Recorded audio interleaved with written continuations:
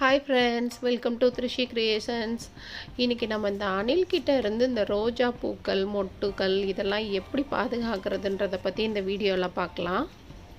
அது மாதிரி பாதுகாத்த பூக்கள் தான் இந்த செடியில் இருக்கிறது எல்லாம்.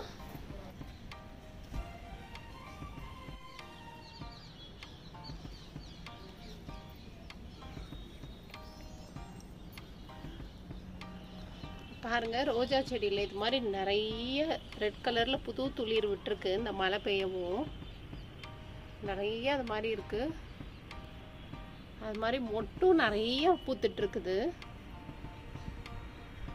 பாருங்க.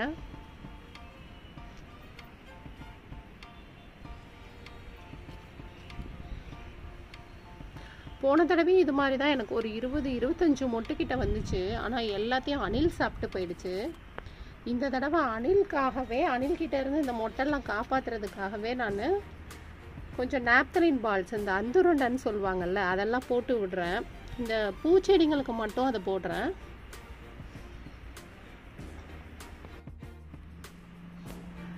காய்கறி செடிக்கெல்லாம் இது போட்டால் நல்லதில்லை. அதனால் வந்து இதெல்லாம் பாய்சன்றனால வெறும் பூச்செடிங்களுக்கு மட்டும் இதை போட்டு விடுவேன். இந்த ஸ்மெல்லுக்கு வந்து அணில் வராதுன்னு சொல்லுவாங்க. அதனால் போட்டிருக்கேன்.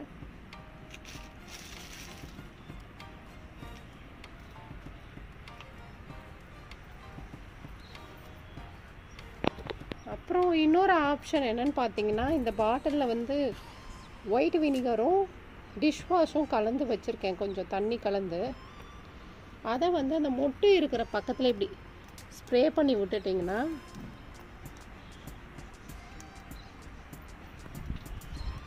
அணில் வந்து இந்த ஸ்மெல்லுக்கு வந்து வராது. இதை நான் லாஸ்ட் டைம் வந்து ட்ரை பண்ணேன். அதுக்கப்புறம் வந்து இந்த மொட்டெல்லாம் அப்படியே தான் இருக்குது பாருங்கள் அணில் சாப்பிடல.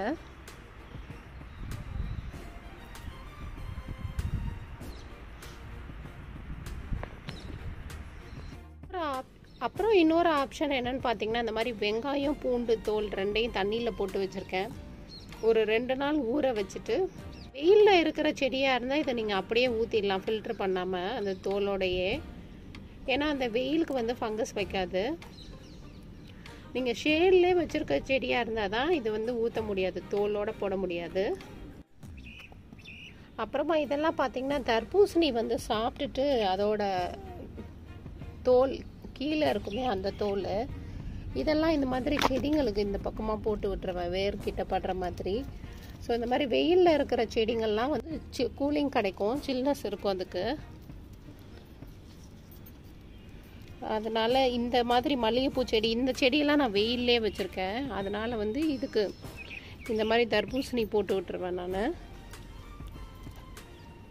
பாருங்கள் இதுவும் எவ்வளோ மொட்டு வச்சுருக்குதுன்னு.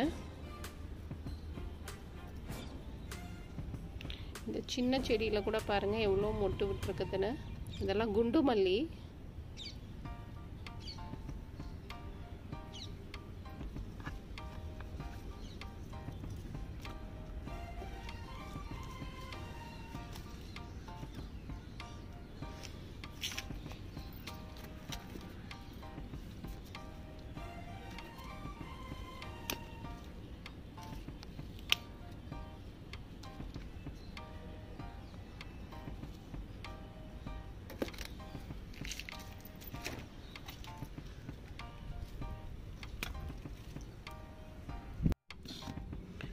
இதில் இருக்க தர்பூசணி விதை இதெல்லாம் கூட இந்த மாதிரி நான் தூவி விட்டுருவேன்.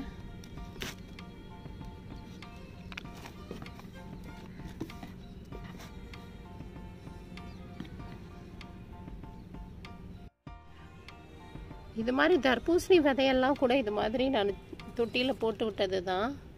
பாருங்கள் நல்ல கொடி மாதிரி வந்துட்டுருக்கு. இந்த சைடும் அது மாதிரி நல்ல கொடி வச்சுருக்கு. இந்த வீடியோ உங்களுக்கு பிடிச்சிருந்ததுன்னா லைக் பண்ணுங்கள் சப்ஸ்கிரைப் பண்ணுங்கள் அப்படியே பக்கத்தில் இருக்கிற பெல் ஐக்கானையும் ப்ரெஸ் பண்ணுங்கள் தேங்க்யூ ஃப்ரெண்ட்ஸ்